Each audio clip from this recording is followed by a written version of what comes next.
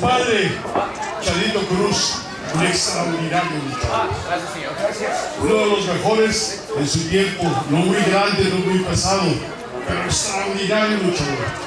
Único, que hacía maravillas arriba del ring. Entonces, más que nada, un alabo muy grande para su padre de ustedes, que fue un extraordinario luchador. Y a ustedes, desde luego, querido público, muchas gracias. Muchas gracias por este soporte de tantos años. Yo he tenido la oportunidad de viajar por el mundo llevando mi lucha al libre mexicano. Y eso pues me da mucha satisfacción y no estoy más que agradecido al público de todo el mundo, pero en especial a mi gran público de México.